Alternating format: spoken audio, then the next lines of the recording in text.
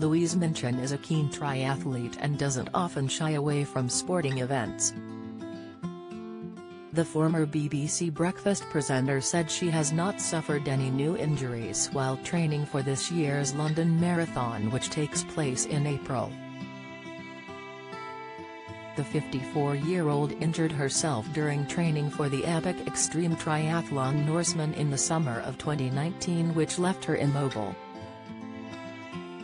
Taking to Instagram on Sunday, Louise shared a video as she gave her followers an update.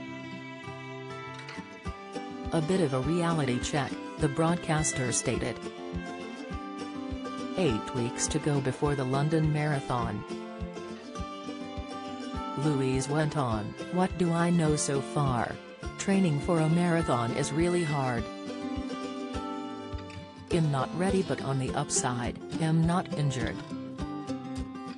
I go through ups and downs of thinking I can do it and then I really can't.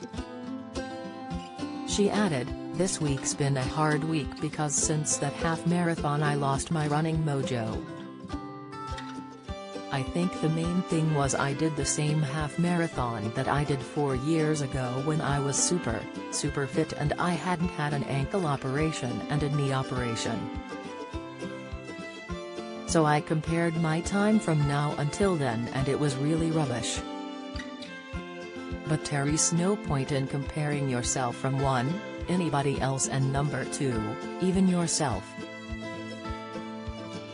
Louise finished, because circumstances are really different now. If I get around it will be great.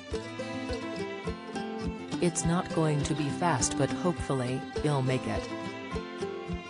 In a follow-up post, the mom of two shared she would be completing the race alongside one of her daughters, she commented, final thought. I am running for charity. That is going to motivate me. Am also running with my daughter which is really exciting. Louise continued, am not sure we'll stick together because she's much faster than me. She's also running for a charity.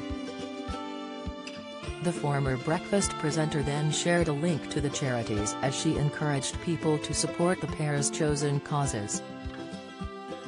It comes two years after Louise said her foot injury has taken a lot longer to heal than she thought in 2021.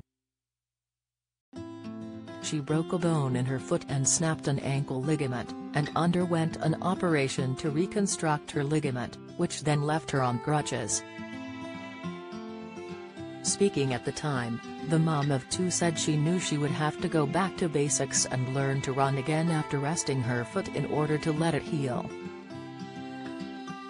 I can't believe it's nearly a year since I did my last marathon and since then I've had a foot operation, she informed fans via Instagram at the time.